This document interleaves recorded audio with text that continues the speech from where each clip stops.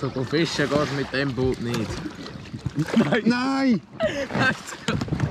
Scheiße, es ist abgefallen. Und es ist gerade ab, abgesunken. Also das Ruderblatt schwimmt nicht. Es ist gerade abgesunken. Also der da schwimmt nicht. Es sieht zwar nicht so aus, aber die Sommerferien stehen vor der Tür und darum ist es wieder Zeit zum Gummibötli auspacken. Egal für auf die Limmat oder auf die Aare oder hier auf den Vierwaldstätter See. Gummibötli ist eine beliebte Freizeitbeschäftigung und darum testen wir heute die acht gängigsten Modelle. Das sind sie, die Boote im Test. Für das habe ich mir Hilfe geholt von Leuten, die sich um Wasser super auskennen, und zwar vom Seeclub Luzern. In der Jury sind diese Junior-Ruderer. Noch rudern sie mit dem Profiboot. Merci. Bereit. Auf! Und aus. Was muss ein gutes Gummiboot für euch mitbringen? Ja, gute Ruder und eine gewisse Stabilität. dass es mal wegkommt vom Fleck. Ja, und halt, dass es nicht untergeht, dass die Luft drin bleibt. Und Merlin, für dich, was muss ein gutes Gummiboot mitbringen? Also sicher zwei Ruder und einen stabilen Boden, dass man auch gut sitzen kann. Der Test kann beginnen.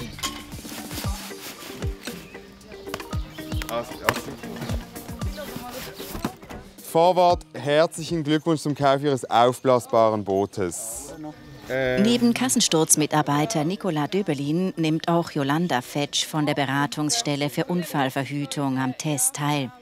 Ihr Fokus liegt auf der Sicherheit. In der Jury auch weitere Mitglieder des Seeclubs. Hier Präsident Moritz Rocker. Muskeltraining.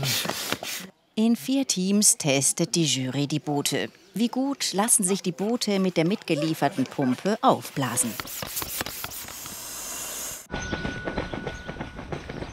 Irgendwie einfach auseinandergeht. Wie sind Qualität und Handhabung der Paddel? Das sind ein bisschen kleine Paddel. Kommt schon gar nicht vorwärts. Die Jury hält jedes Detail fest und bewertet streng. Nach den Vorbereitungen im Trockenen geht es aufs Wasser. Das ist richtig AliExpress-Qualität. Wir probieren es jetzt mal aus. Vielleicht sind sie ja super. Das wackelig. Also, ich, eigentlich ist die falsche Person an der Ruder. So. Im Werkstoffprüflabor testet Prüftechniker Hase Mersani die Boote für Kassensturz. Er bereitet Plastikstücke vor.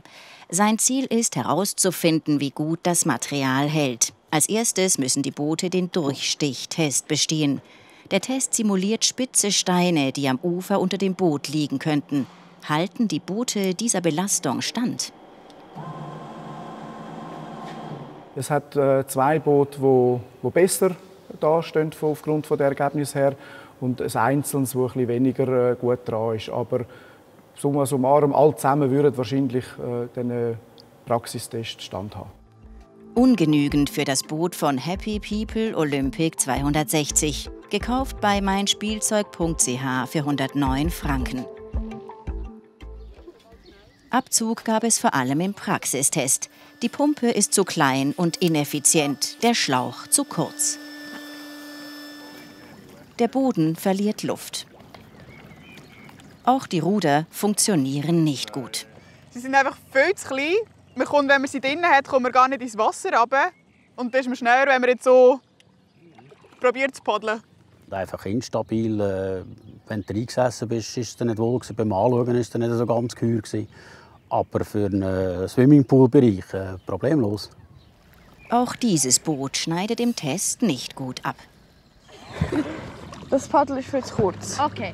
Wir sind blöd zum Paddeln in diesen Ja. In diesen Halterinnen. Ja, genau. Ähm, generell ist es halt nicht so wendig und wegen der kurzen Paddel kannst du auch nicht wirklich etwas machen. Deshalb genügend für das Boot von Geelong Fishman 350 gekauft bei Manor. Genügend auch für das Boot Calypso 300 gekauft bei Digitec Galaxus für 118 Franken. Abzüge gibt es für die ungenaue Bedienungsanleitung und eine instabile Pumpe. Auch das Paddel ist ein Problem. Nein! Nein! Scheiße! Es ist gerade abgesunken. Also der da schwimmt nicht. Zurück im Werkstoffprüflabor. Hier stanzt der Prüftechniker Proben aus dem Plastik. Die Fragestellung ist, wie stabil ist das Material der Boote?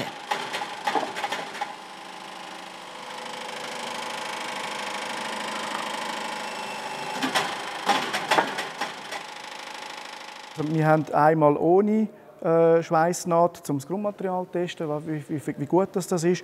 Und dann die zweite Probe ist die mit der Naht, weil jede Naht, die auf dem äh, Material drauf ist, die schwächt die Eigenschaften von dem, äh, von dem Gummi.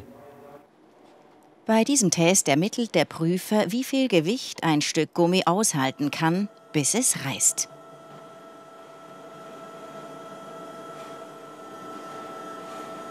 Fazit: Im Labor erfüllen alle Resultate die Richtwerte. Die Unterschiede zwischen den Booten sind gering. Das heißt, die Boote sind stabil.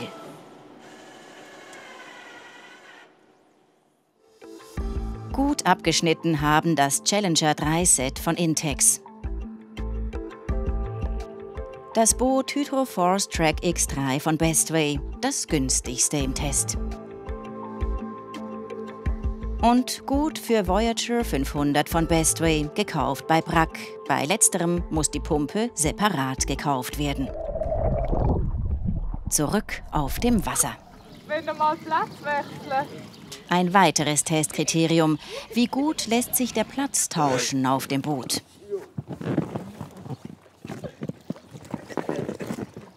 Ja, es ist gegangen, aber äh,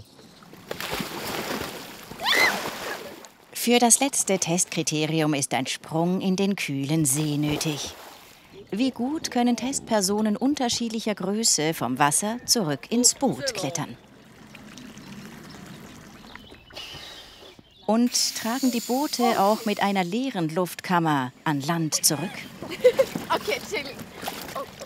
Also mir ist beim Flussbötli tatsächlich mal das Gummiboot gerissen, weil wir über einen Stein drüber gegangen sind. Und dann haben wir den ganzen Weg müssen zu Fuß gehen. Ist dir auch schon mal so etwas passiert? Oder hast du eine andere Geschichte erlebt mit deinem Gummiboot? Dann schreib es uns doch unten in die Kommentare. Die besten Boote im Test sind Caravelle K105 von Sevilur. Dieses Boot wird ohne Pumpe und Paddel verkauft.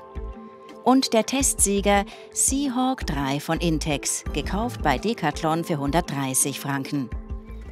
Dieses Boot hat die Jury am meisten überzeugt.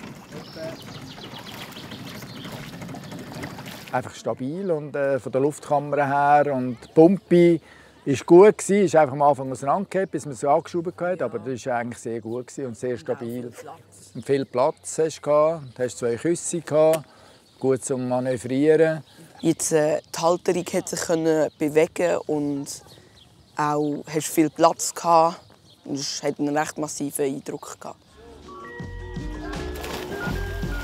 Nach dem Test das Vergnügen, denn dafür sind Gummiboote ja da.